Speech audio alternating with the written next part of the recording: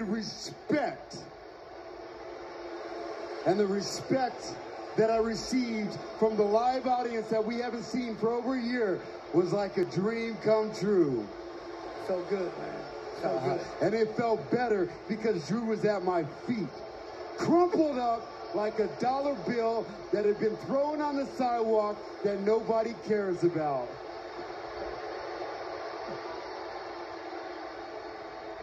But now Drew is like this piece of bubblegum that's stuck on the bottom of my shoe that I can't get rid of. Because now, at WrestleMania Backlash, I have to defend my title against Drew McIntyre again. And I will beat Drew McIntyre again. But this time, there's a possibility that this is a triple threat match. Now, see, I'm offended by that.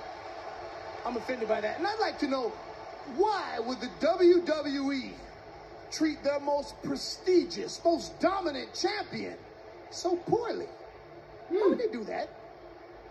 Bobby Lashley is the chief hurt officer of the hurt business and the almighty WWE champion. So any business that the WWE would like to conduct that involves that championship can't be conducted without first consulting the chief and the champ. It's ridiculous.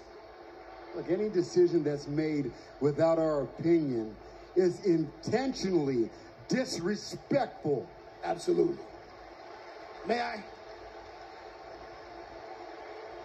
Bobby Lashley has been the almighty WWE champion for 56 days.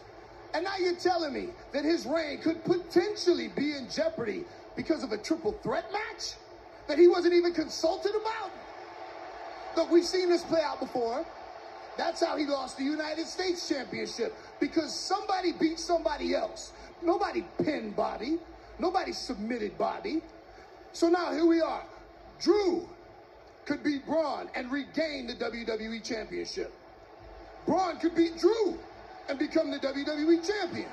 So you're telling me that potentially the almighty WWE Champion could lose his title and not even have a hand in the immediate outcome? That's disgusting. That's unacceptable. But most of all, that's just not fair. Look, look, look, look. Fair or not, both Drew and Braun know that I can beat them in a head-to-head competition anytime. But if after tonight's match, our backlash match gets changed into a triple threat match, I'm gonna have to come out there and observe my business interest. Because after chasing this title for 16 years, nobody's gonna stop me. I will leave Backlash still the WWE champion. The champ has spoken. I think these are all